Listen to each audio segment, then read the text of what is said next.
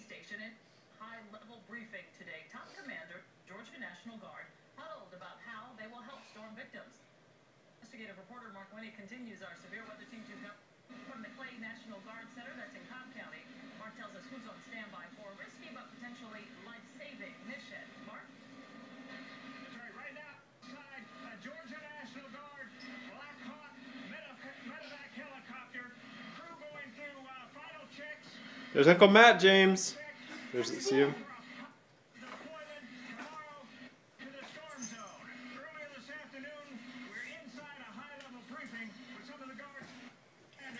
by the adjutant general. I can move. See Uncle Matt's helicopter? No.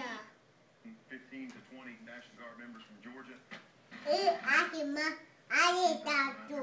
You see Uncle Matt's helicopter? And they're eager to help, and we, and we certainly are. From the Eh, hangar, I can move.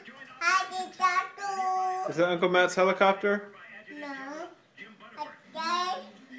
think I can move. To the flight line. The Georgia National I can move. I need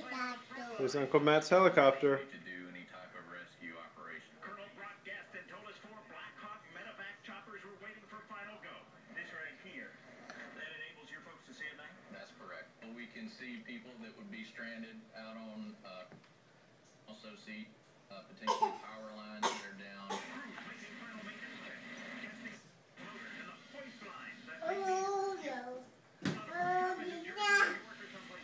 it means, means the world to us. I mean, we, we did this mission in Iraq and haven't been in that situation saving people's lives and letting them know that they can come back to their families. It's the